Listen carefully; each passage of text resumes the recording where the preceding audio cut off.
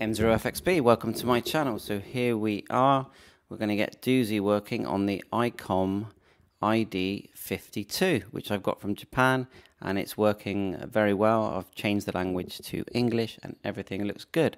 And to me, it's very similar to the ICOM 705, but minus the HF side in its in the way it works. So with Doozy, all you need is a normal micro USB cable. So first thing you would do is download the driver for the cable.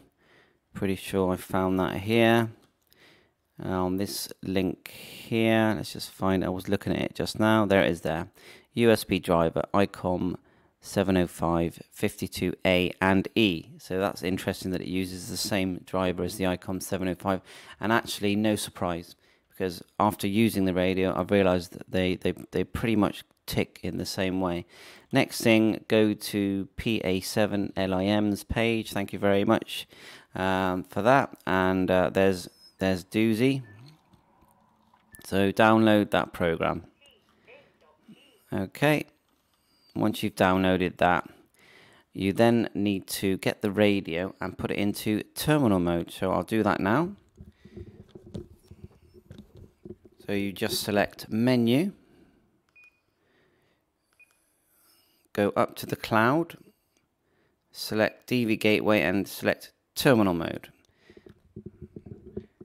Now I'm assuming that when you plugged in the USB cable, which connects to the radio here, normal USB, micro USB, you had a message on your Windows 10 saying setting up the ID 52. So right click device manager and just check that you've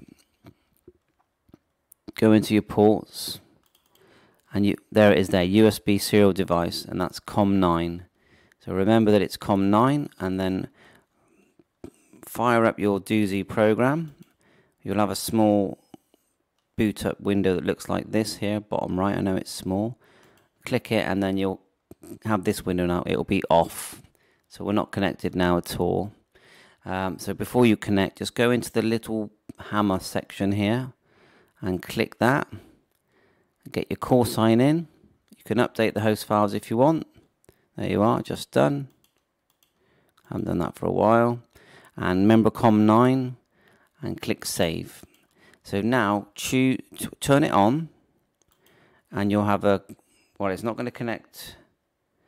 It should connect. Let's just work out why we're not connected. We're in terminal mode. It could be that someone's talking, so let's just give it a minute. It does say connected here. Actually, it does say connected. They are radio connected.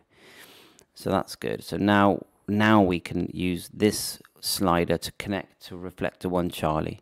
So we'll slide that on, and there you are, linked to reflector char uh, 1 Charlie. So now what we'll do, we'll have a little contact just to test it. Right, just called out. So when you transmit, it goes red. The doozy window goes red.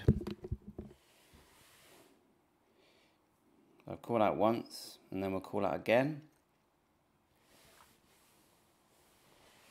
But it's all working, as I just had a chat with someone else on it. Mike Zero Foxtrot X-Ray Bravo, calling for an audio test on Doozy ID 52.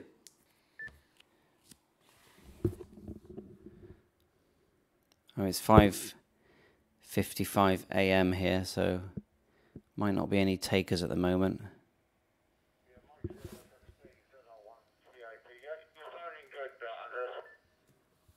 There you go. So ZL1 TAP, so other side of the world. Yeah, thanks very much. Yeah, just literally ending the setup video and just thought I'd get a contact right at the end and then I'm going to post it on there now. So thanks very much. 7-3, all the best. There you go. We have a test. And it sounds very good. So, um, yeah, 7-3, all the best.